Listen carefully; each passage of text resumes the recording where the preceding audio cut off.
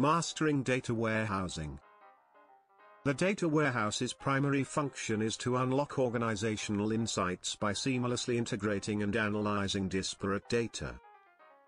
Where does the data warehouse's primary function lie, and what specific objectives does its design aim to accomplish in terms of integrating and analyzing an organization's data? The primary function of a data warehouse lies in integrating and analyzing an organization's data from various sources, providing a centralized repository for reporting, analytics, and business intelligence. The design of a data warehouse aims to accomplish several specific objectives. Firstly, a data warehouse integrates data from disparate sources, such as operational databases, external data sources, and legacy systems, into a single, unified repository. This integration enables organizations to access a comprehensive view of their data, eliminating data silos and inconsistencies. By consolidating data from various sources, organizations can gain a better understanding of their business operations, customer behavior, and market trends. Secondly, a data warehouse is designed to support business analytics and reporting. The data warehouse stores data in a schema that is optimized for querying and analysis, enabling fast and efficient access to data. This facilitates the creation of reports, dashboards, and analytics that provide insights into business performance, trends, and opportunities. Thirdly, a data warehouse provides a scalable and flexible architecture that can handle large volumes of data and support various types of analytics, including online analytical processing, OLAP, data mining, and predictive analytics.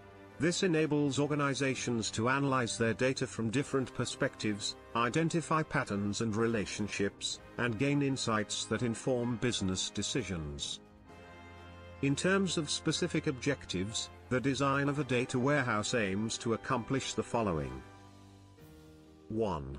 Data integration, to integrate data from various sources, eliminating data inconsistencies and providing a single, unified view of the organization's data. 2. Data standardization, to standardize data formats, ensuring consistency and quality across the organization. 3. Data security, to provide robust security mechanisms to protect sensitive data and ensure access controls, authentication, and authorization. 4. Scalability, to design a scalable architecture that can handle increasing volumes of data and support growing analytical requirements. 5. Flexibility, to provide a flexible architecture that can adapt to changing business needs, new data sources, and evolving analytical requirements. 6. Query performance, to optimize query performance, ensuring fast and efficient access to data for reporting, analytics, and business intelligence. 7. Data quality, to ensure high-quality data, eliminating errors, inconsistencies, and inaccuracies that can impact business decisions. 8. Metadata management, to manage metadata effectively, providing a clear understanding of data lineage, data provenance, and data quality. In summary, the primary function of a data warehouse is to integrate and analyze an organization's data, providing a centralized repository for reporting, analytics, and business intelligence.